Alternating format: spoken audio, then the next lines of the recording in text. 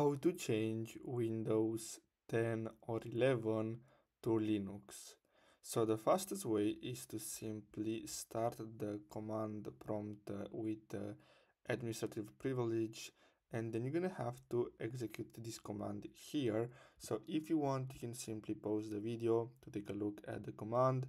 Then as you can see you're gonna have to run this command to list other linux releases and you can install your favorite linux distribution using uh, this um, command here and after that as you can see when the operation is finished restart your pc and you can start uh, using linux so I really hope you found this video helpful. Thanks for watching.